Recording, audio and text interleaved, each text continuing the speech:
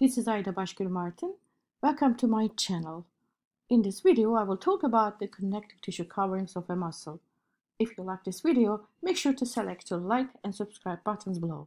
If you have any questions, feel free to leave a comment.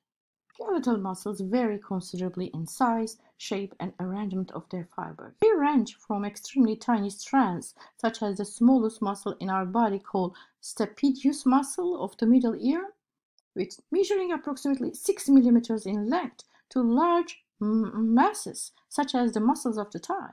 The longest muscle in the human body is called the sartorius muscle, and length goes up to 600 millimeters.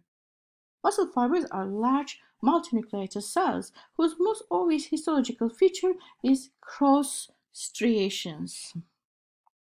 The cytoplasm contains many myofibrils that include tiny cylinders consisting of bundles of myofilaments. An individual skeletal muscle may be made up of hundreds mm, or even thousands of muscle fibers bundled together and wrapped in a connective tissue covering. The layers of connective tissue cover the muscles to support and protect the delicate muscle. These layers not only withstand the forces of contraction, but also provide pathways for the blood vessels and nerves. Each muscle is surrounded by a connective tissue sheet called the epimysium. Inside of each skeletal muscle, we have bundle of muscle fibers organized into individual bundles they called fascicle. Fascicles surrounded by a connective tissue we will call perimysium. Each fascicle contains again a bundle of muscle fibers, muscle fibers and every individual muscle fiber again covered with connective tissue we call the endomysium. I created an easy to remember mnemonics here EPEN to help you easily remember the connective tissue coverings from most outmost to inmost. Their names epimysium, perimysium, and endomysium. Epimysium covers entirety of the muscle, perimysium covers fascicle, and endomysium covers only one muscle fiber.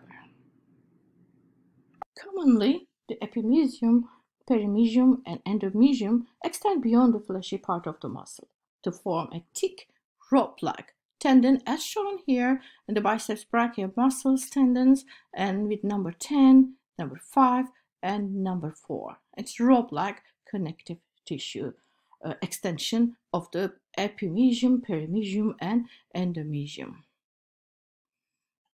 There is a rope-like we call tendon, connects the muscle to uh, bones.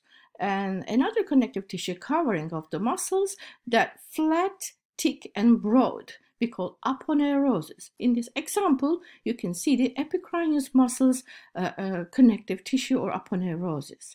In Latin, we call galea aponeurotica and connects the frontalis, the front belly of epicranius, to occipitalis, posterior belly of epicranius. It's flat, broad. Although it is not related with muscles at all, but I want to mention another connective tissue the ligaments. Ligaments to connect a bone to another bone. Tendons connect the muscle to bone. That's the difference. Fascia. Fascia is a soft connective tissue that is located just below the skin. It wraps and connects the muscles. You can see an example anterior and posterior renal fascia. It covers not only muscles, but bones, nerves, and blood vessels and organs of the body. You can see in this illustration. Retinaculum is a band of thickened, deep fascia around the tendons that hold the tendons in place. You can see here and here and here. It is not part of any muscle.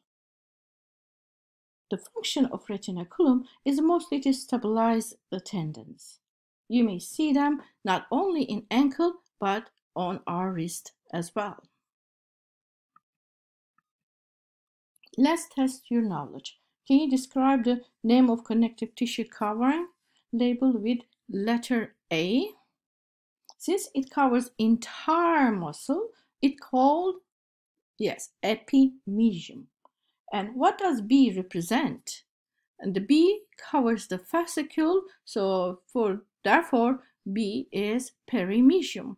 When you look to C and covers the, it's a connective tissue covering of the one single muscle fiber uh, or muscle cell, literally, uh, we call this endomysium. If you liked this video, make sure to select the like and subscribe buttons below. If you have any questions, feel free to leave a comment below. Thank you for watching.